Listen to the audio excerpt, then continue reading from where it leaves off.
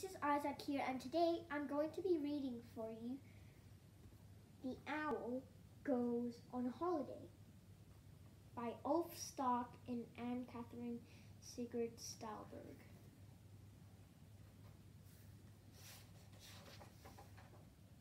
The Owl Goes on Holiday.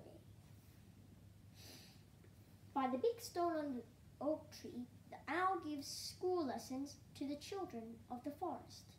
He does this every morning before going to bed because owls sleep in the daytime and are awake at night. Today, the children have picked le- leaves, needles, and pine cones from the trees. They've also held paws and wings around the oak tree to see how wide of it it is, as wide as all of us put together, says the owl. My dad, my granddad is quite wide too, says the smallest little mouse. But the oak tree could live for over a thousand years, said the owl. I don't think your granddad could, or me. They all laugh at that. Then they dance around the oak tree because dancing is so much fun and because you learn a lot better when you're having fun.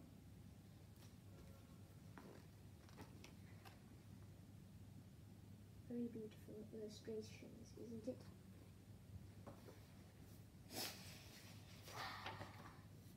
Now the owl stands on the school stone and shows the class a leaf.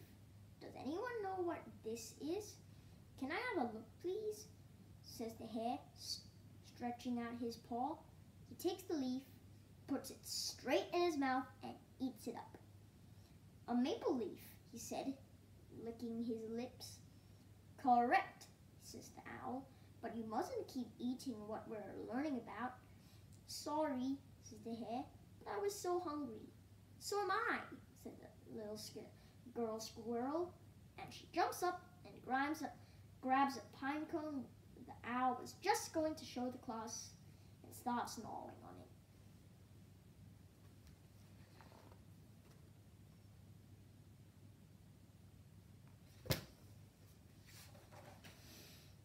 Yucky pine cones, says the fox. I much prefer flies, croaks the frog.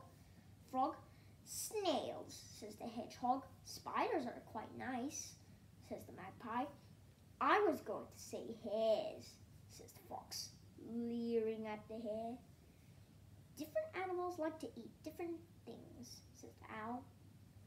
Personally, I like us, squeak the mice, and they jump around squeaking, Ha ha, you're not allowed to eat us up, not while we're at school, because that's the way of things. At school, everybody has to be kind to each other and not eat each other up. Now I think it's time for you to do some exercise, yawns the owl. Oh, move around as much as you can.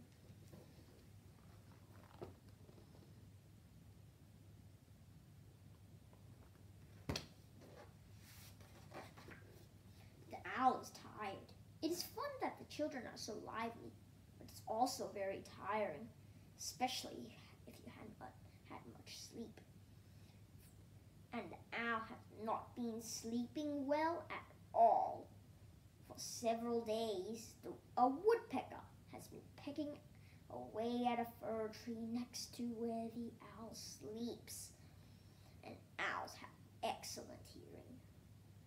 Imagine if, if I could have just few days off, he thinks to himself.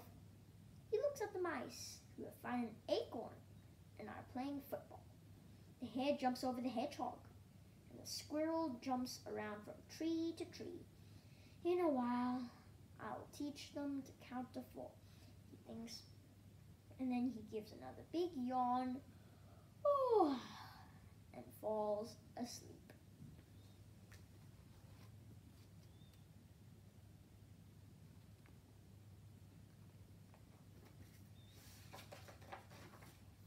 Wake up, The magpie.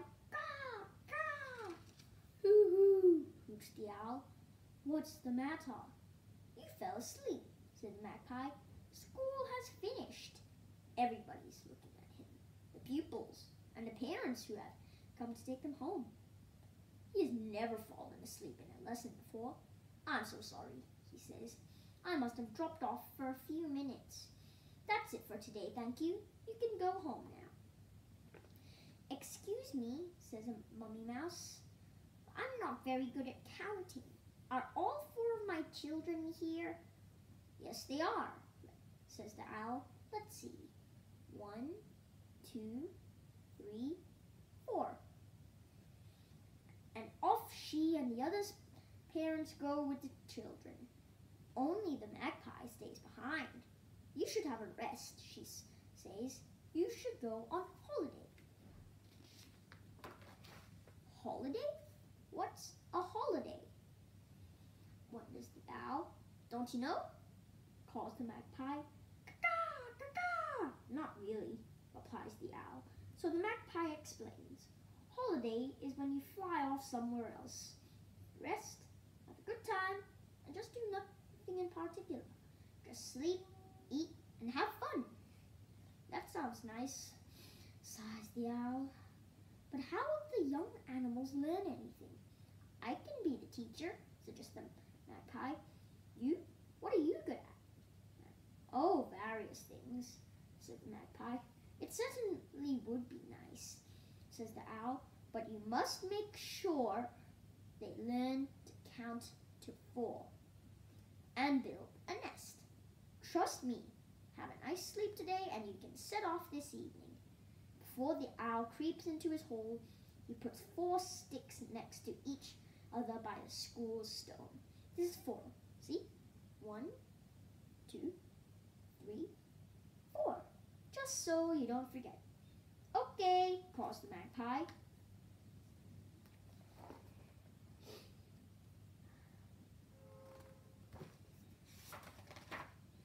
And that evening, the owl sets off.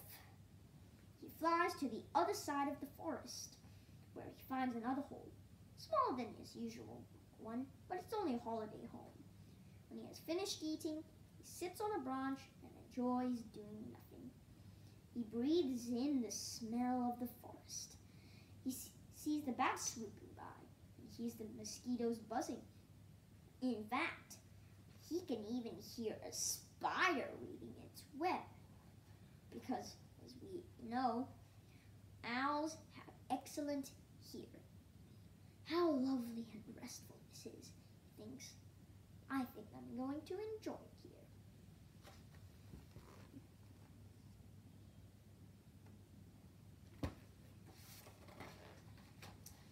Good morning, children, calls the magpie the next morning. I am your new teacher. But where's the owl? wonders the hare. He has gone on holiday. Let's get started. What are we learning today? Asks the squirrel. Today, you are going to learn how to build a nest, says the magpie. I already live in a little passageway under the ground, says one of the mice. But now you're going to learn how to build the best nest of all, a real magpie's nest, calls the magpie proudly. Caw-caw,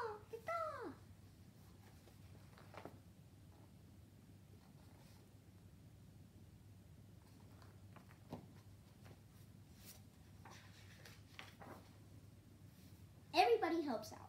Wolves and mice fetch small twigs. The hare and the fox bring big branches. And the frog carries mud for the floor. The magpie shows them how the branches should be put together. They have to really do it properly, otherwise the nest will break. When the lesson is over, everybody is tired but. Now you have learned to build a real nest, says the magpie. The fox says it would rather live in its den. The hare wants to carry on living in his lovely sleeping burrow under a bush. The squirrel loves her own nest, and the mice have their underground tunnel to live in. But the children are still happy when their parents come to collect them. They had a lot of fun. They have learned to work together and that all animals want to live in their own kind of home. Fox, Hare, Frog are all help helping out.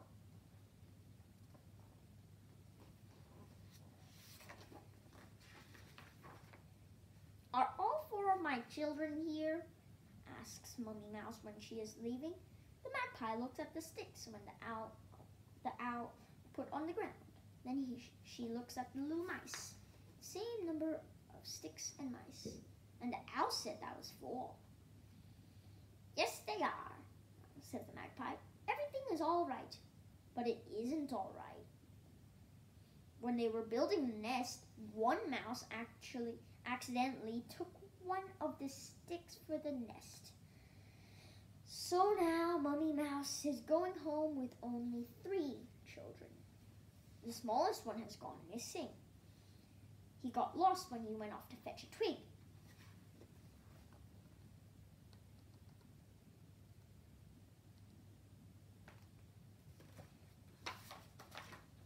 The owl is having trouble in his sleeping in his new hole.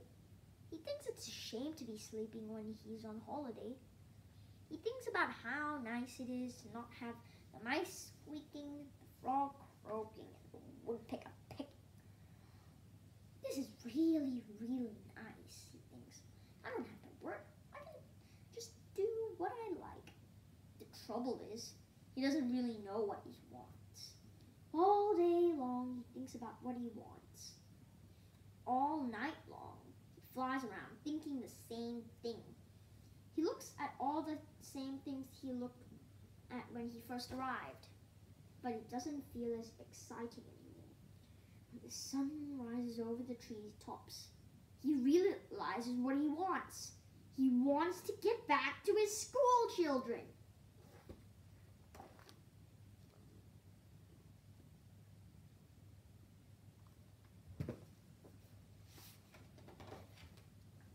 This morning's lesson has begun.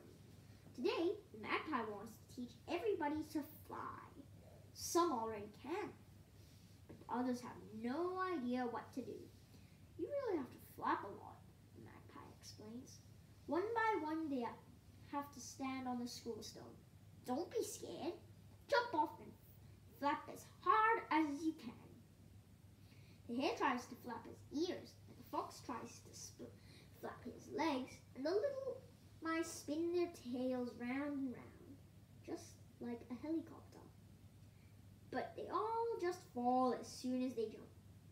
They laugh at that, because falling over is fun.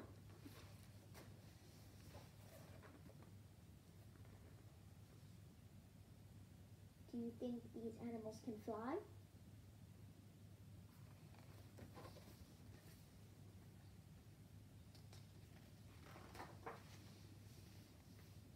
Then along comes the owl. How clever of you, he says to the magpie. I see that you're teaching the children that no one can do everything, but everyone can do something. The hare can't fly, but is really good at hopping. The hedgehog can't hop, but is very good at being prickly. Just then, the owl sees the big magpie's nest they have built. And what a lovely schoolhouse you. Now we can be indoors whenever we like. Oh, I'm so happy to see you all again. But where is the smallest mouse? Smallest mouse, calls the magpie. Caw, caw. Yes, where is he? Did you count to make sure Mummy Mouse collected all her children yesterday?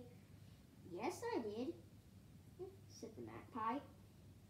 There were as many little mice is there. There were sticks there.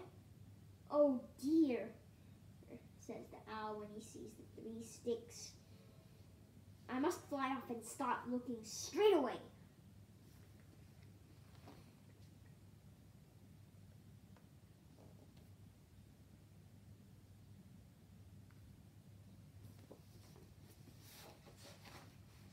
He flies over forest glades, streams, and meadows. Owl has excellent eyesight and can zoom in on a single blade of grass and hear the quietest of voices. Just now he can hear someone laughing, someone with a very light voice. It's the smallest mouse. He's been sleeping in a pile of leaves, and he has found a dead fly in a spider's web, which he has feasted on. And now he's lying on the ground tickling himself on the tummy with his tail because he doesn't like to be bored.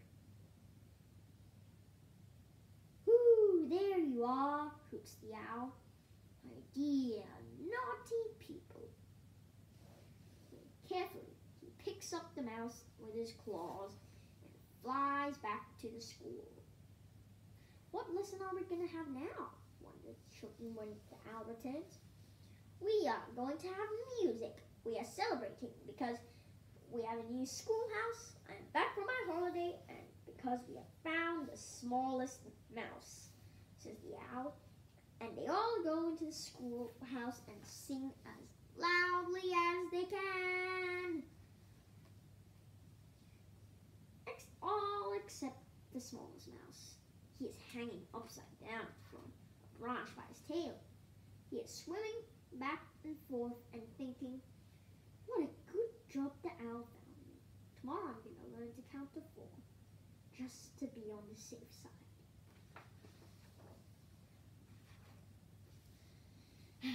Which is the end of our story.